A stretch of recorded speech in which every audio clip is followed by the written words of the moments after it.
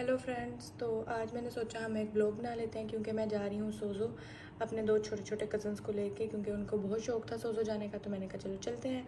अभी सबसे पहले मैं चीज़ लेके आऊँगी और उसके बाद मैं आऊँगी, अपना मुँह धोऊँगी, हल्की सी सनस्क्रीन लगाऊँगी और फिर हम तैयार हो जाएँगे। फेस वॉश मैंने कर लिया है, अब मैं ये सनब्लॉक यूज़ करूँगी।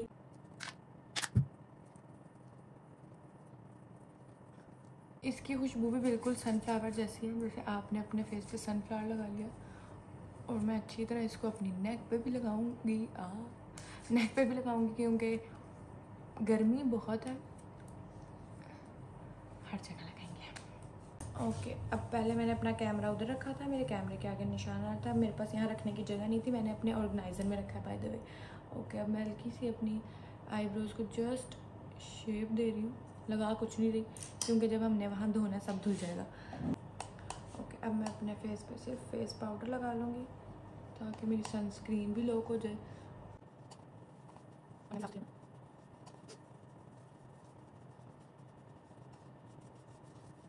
अब मैं लगा रही हूँ ये ब्लश थोड़ा सा हम ब्लश भी लगा लेते हैं। वैसे लगाना तो टेंट चाहिए, क्योंकि टेंट रिमूव नहीं होगा।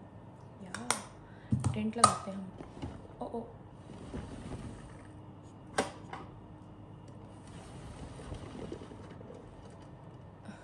असल में मुझे घुमाना इसलिए पड़ा क्योंकि मेरे ऑर्गेनाइज़र में मोबाइल रखा हुआ है। ओके अब हम टेंट लगाते हैं। ये टेंट वैसे तो बहुत डार्क है और मुझे पाउडर से पहले लगाना चाहिए था बट पाउडर के बाद लगा रही हूँ क्योंकि मुझे याद नहीं था।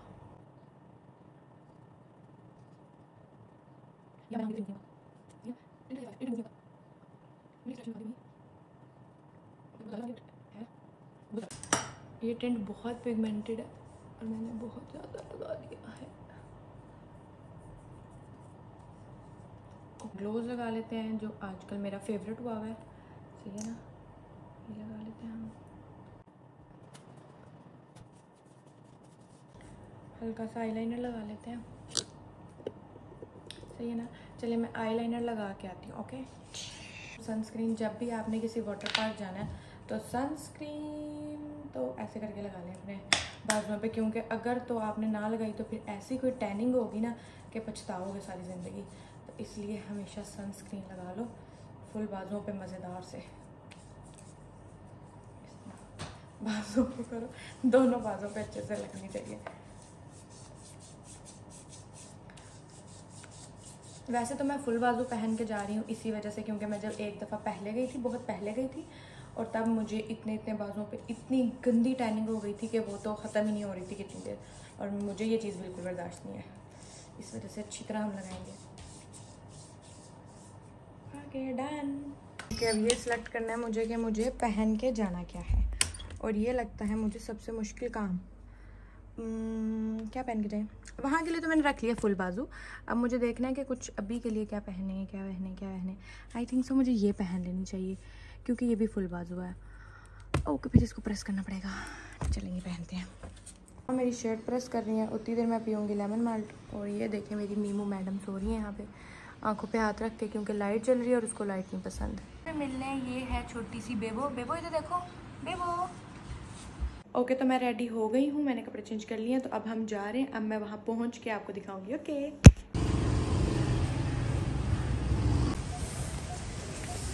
यहाँ से अब हम टिकट्स लेंगे। Okay, तो अब हम यहाँ पे पहुँच चुके हैं और अब यहाँ पे हम इंजॉय करेंगे। उसकी भी थोड़ी सी वीडियोस मैं डाल दूँगी।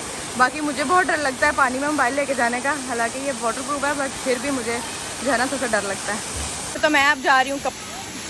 कपड़े चेंज करने और इसके बाद मैं आऊँगी दोबारा नहाने।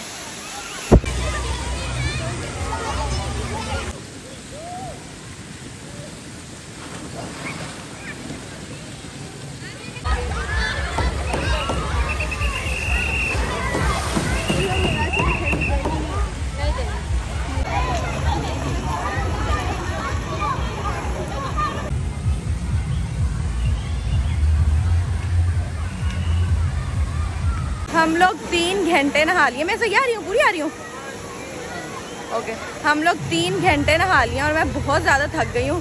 और मैं लेके आई थी ओहो, मेरा कॉलर मैं लेके आई थी अपना लिप ग्लोस सनस्क्रीन साथ के मैं बाद में लगा लूँगी। और अभी मेरे में बिल्कुल हिम्मत नहीं बची कि मैं वो लगा लूँ। इतना ज़्यादा थक गई हूँ और मैंने अपने कपड़े चेंज कर लिए हैं। अभी यहाँ पे हैं झूले। ये पींग है, अभी ज़रा बच्चों ने कहा पींग लेनी है तो अब हम वो लेने लगे हैं। और इसके बाद मैं घर चली जाऊँगी और मैं सो जाऊँगी बस और फिर मैं बहुत देर सोऊँगी।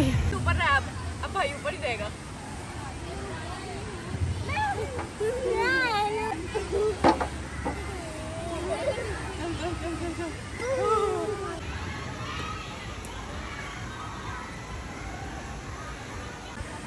ओके okay, तो एक चीज़ मुझे इनकी बहुत ही ज़्यादा अच्छी लगी है। वो मैं ज़रूर आपसे वो मैं ज़रूर आपसे शेयर करना चाहती हूँ। वो ये है कि इन्होंने यहाँ पे मस्जिद का एरिया भी दिया हुआ है, जिसमें जाके आप नमाज़ पढ़ सकते हो इजीली और मुझे ये चीज़ बहुत अच्छी लगी है। कि मेरा एक्सपीरियंस यहाँ पे बहुत मज़े का रहा है। क्योंकि पर्सनली मुझे बहुत मज़ा आया मेरे साथ मेरे दो छोटे कज़न्स थे, उन्हें बहुत मज़ा आया अगर आप आना चाहते हैं तो ये प्लेस बहुत मज़ेदार है। और मैंने देखा यहाँ पे लोग बहुत दूर दूर से आए हुए थे। हमारे यहाँ पे बहुत कम वाटर पार्क्स हैं और ये बहुत रिजनेबल प्राइस में, इतना रिजनेबल तो मेरा नहीं हाल कोई भी है। बाकी बहुत मज़े का लगा सारा कुछ मुझे। आई होप कि आपको मेरा ब्लॉग अच्छा लगा होगा and thank you so much for watching अब मैं जा रही हूँ घर और मैं बहुत ज़्यादा थक चुकी हूँ, इस वजह से मैं ब्लॉग को यहीं पे एंड कर रही हूँ। Bye bye